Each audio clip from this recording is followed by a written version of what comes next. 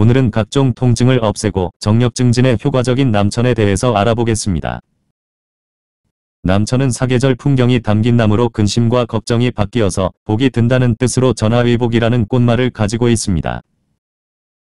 예전 신선과 도인들이 즐겨 먹었다던 몇 안 되는 귀한 약용식물이고 현재까지 인기 있는 수종이기도 합니다.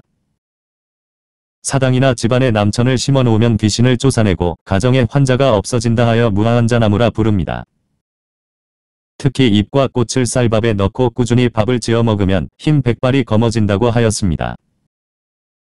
또한 나이가 들어 늙은 사람이 다시 청춘으로 젊어진다 해서 성죽이라 예칭하기도 했습니다. 남천 잎에는 해독과 살균 작용이 매우 우수하여 각종 음식의 부패를 막아 천연방부제로 쓰기도 합니다. 이때 초밥과 생선회를 즐기는 분들은 잎을 접시에 몇 장 깔아놓으면 신선도를 계속 유지시킬 수가 있습니다. 뿌리와 잎은 성질이 매우 차갑고 간과 폐에 들어가지만 열매는 쓰고 떨지만 신장 및 방광에 작용됩니다. 그리고 나무가지를 잘라서 젓가락을 만들어 음식을 먹으면 중풍이 찾아오지 않다는다고 하며 특히 관절염과 손발저림에 좋다고 합니다. 이를 근거로 해서 남천 줄기와 뿌리의 성분을 추출하였는데 난디닌이라는 성분이 검출되었습니다. 이는 몰핀과 매우 유사한 마취 및 진통작용을 보였으며 중추와 미주신경을 자극해서 현재 제약회사에서 전신마비 및 통증 치료에 활용됩니다. 그리고 근육통과 허리통 증 신경통, 뼈가 욱신거리는 증상을 부드럽게 풀어 천연진통제 역할을 해줍니다. 하지만 임상시험에서 남천 추출물을 대량으로 투여했을 경우에 강한 경련과 호흡곤란을 초래하기도 했습니다. 또한 남천의 도메스틴 성분을 소량 투여하면 자궁과 남성 정관에 대해 흥분작용을 강하게 일으켰습니다. 남천 마그노플로리는 신장과 방광에서 호르몬 분비를 촉진시켰으며 남녀 성기능 저하에 효과가 있었고 대량일 때는 억제작용이 나타났습니다. 그래서 신장 기능 및 전립선 개선 치료제로 이용될 수 있음이 거론이 되기도 했습니다. 특히 남천의 마그노플로리는 일종의 정력제로 알려진 삼지구엽초의 성분이기도 합니다.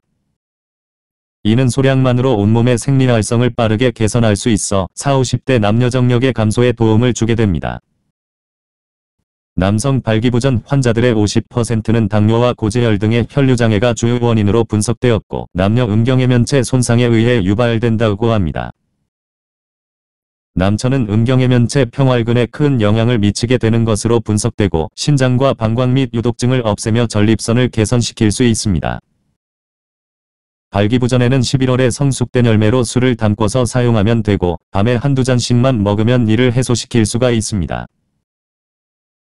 이 밖에 남천은 면역 기능의 항체를 늘리고 항암작용뿐만 아니라 잎에는 눈충혈과 간염 및 위장염에 대해 유의한 효과가 있음이 보고되었습니다.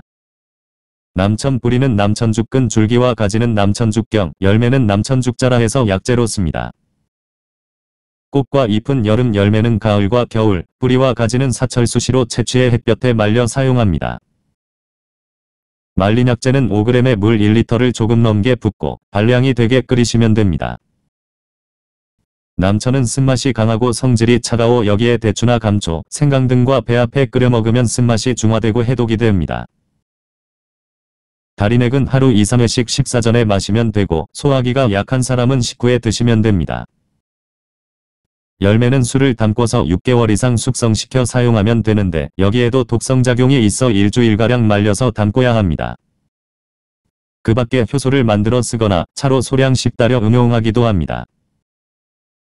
남천은 독성물질이 함유되어 있고 특히 개구리에 대해서 모르핀과 같은 유사작용을 일으키므로 과다 사용 시 주의하셔야 합니다. 만약 과다 사용하면 호흡장애와 동공확대, 중독과 저체온으로 혈압이 떨어져 심장마비를 일으키기도 합니다. 참고로 개구리 가스무흉부에 주사하면 반수치사량이 1.63mg이었고 생지는 1.0mg으로 나타났습니다. 그리고 차가운 성질이 강한 약재로 몸이 냉한 사람과 맥이 약한 사람은 복용에 신중하시고 전문가 상담을 받으시고 사용하시길 바랍니다. 시청해 주셔서 감사합니다.